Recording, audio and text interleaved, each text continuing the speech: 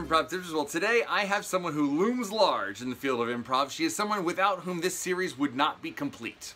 If we didn't hear from her, I would just feel like I had not done my job as the host of Improv Tips. Uh, I'm talking, of course, about Charna Halpern. Um, when I asked her what she wanted me to say as her bio for this video, she said, just say that I'm the boss lady at IO. And pretty much, man, that is the case. Um, she started the IO uh, about 35 years ago with Del Close, uh, who I've mentioned many times in these videos. Uh, and uh, she's been teaching the Herald and basic improv ever since. Um, she's taught hundreds upon hundreds of students, including yours truly. Um, and also, uh, a few years, maybe 20 years ago or so by now, we opened the IO West out here in Los Angeles. Um, I have a warm spot in my heart for Charna and everything she did for me when I was living in Chicago. She uh, helped me through classes and she gave me my first chance to perform with the family, which as I said on these videos many times was a great, great like turning point opportunity for me.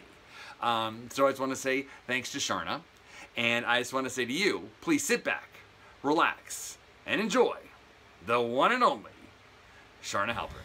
My improv tip of the day is how to use a monologue effectively to affect your scenes. Too often I see people extrapolate little pieces of the monologue instead of listening to the whole idea. What's the thesis statement?